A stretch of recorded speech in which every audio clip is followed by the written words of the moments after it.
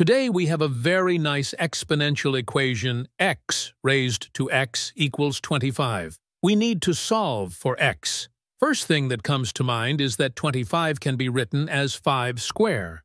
But if you look at the equation, we have x to the x, and this is not of the form x to the x. So the answer is completely different and not what you think. First note that x to the x is an increasing function. Check its plot. Also, we know that 2 raised to 2 is 4 and 3 raised to 3 is 27. So, we can be sure that the value of x lies somewhere between 2 and 3. Now, if we draw a horizontal line, which goes from y equals 25, we see that it intersects x to the x at exactly one point. So we have only one real solution to the x. Now, let us try to solve it using algebra. First, let us apply natural log on both sides. This gives us log of x raised to x equals log of 25. Now, using the power rule of logarithms, we can rewrite this as x times log of x equals log of 25. In order to solve it further, we will use the Lambert W function. Suppose we have an expression like a times e to the power of a. When we apply the Lambert double u function to this expression, we get the result as a. This is the beauty of Lambert W function.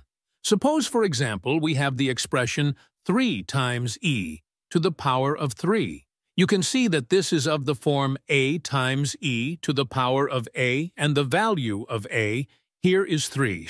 So now, if we apply the Lambert W function on this expression, we get the result as 3.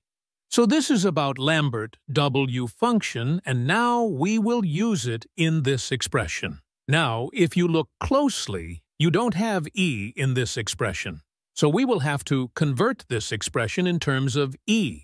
This is simple, as we can write x as e raised to the natural log of x, and this times natural log of x equals log of 25.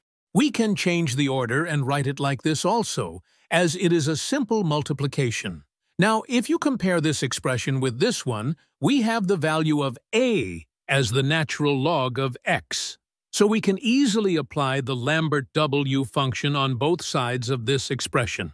This gives w of log x times e raised to the natural log of x equals w of natural log of 25. What will be the value of this function? This value will be same as a, which will be natural log of x itself, and this will be equal to w of natural log of 25. Now, don't be scared about this right-hand side. This natural log of 25 is a constant, and this is also a constant. Now, we don't need the natural log of x, but we need the value of x. So to solve it further, we will create the base of e on both sides. This will give us e raised to the log of x equals e raised to w of natural log of 25.